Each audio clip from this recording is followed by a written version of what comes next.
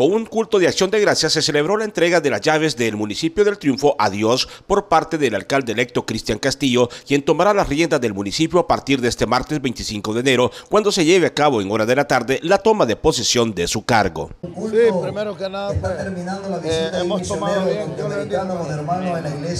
hemos tomado bien eh, hacer este culto de acción de gracias, gracias hermano, eh, para, para hoy hacer eh, una promesa, un compromiso, realidad, ¿verdad? Que nosotros nos hemos comprometido con Dios sobre todas las cosas en poner este proyecto a las manos del Señor, esta gran victoria, una victoria que la ha regalado Él.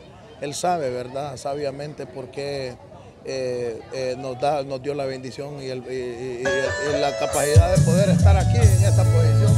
Pues hoy gozando y honrando la palabra del Señor Jesucristo. Hemos ayudado a las iglesias, hoy lo estamos haciendo con la iglesia evangélica, eh, el martes vamos a estar con la iglesia católica y con cualquier otra iglesia de cualquier otro credo, es lo mismo. Con tal, honremos la palabra del Señor, alabemos al Señor y le demos gracias a Él, que el divino creador de todo. El presidente de la Asociación de Pastores del Triunfo esto manifestó. Hoy esta noche creo que estamos marcando historia en el municipio del Triunfo.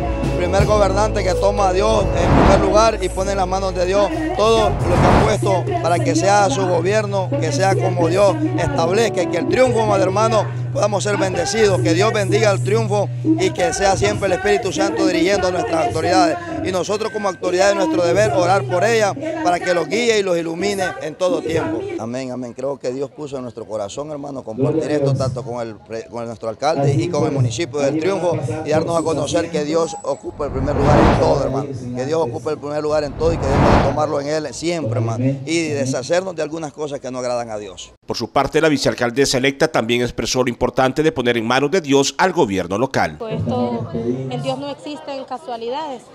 Estos son propósitos de Dios y, lo mejor que pudimos haber hecho pues fue haber entregado las llaves de nuestro municipio al creador del universo, al que por él estamos aquí en esta posición donde estamos, como dice la reina Esther, este, él, él, está abriendo puertas para todo lo que se venga. Eso es lo bonito, ¿verdad? Que los pastores y, pues todo el pueblo realmente está dispuesto a orar por, este, por esta nueva administración para que sea Dios el que guíe de nosotros, porque sin Él, sinceramente nada somos. Dios ha sido el, el proveedor y el veedor de todo este proceso.